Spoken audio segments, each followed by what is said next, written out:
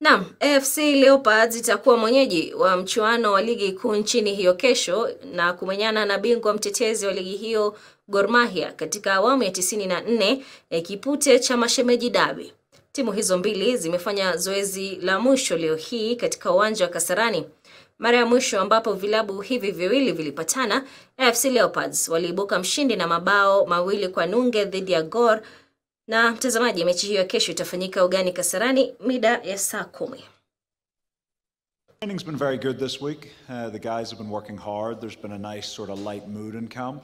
Um, and yeah, look, everyone knows when the derby comes around, it's a game that, you know, players want to go and make a mark and leave a mark. And I think that's amplified this week now that we're launching our new TV deal um, in terms of the game being beamed not just across Kenya, but the whole region and the whole continent as well. So I think for the players, it's a great moment for them to show where we are as a team and where they are as individuals.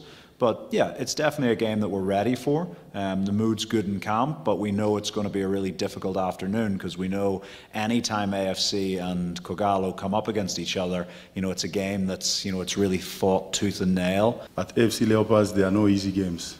All games are tough.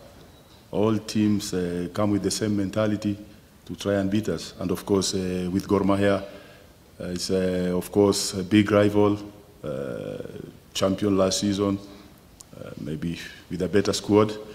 Of course, we are ready for that challenge. Uh, we'll do our best. We'll try to win this game, uh, and hopefully, we give our fans uh, a victory for the first time. But it's not an easy game, as I said.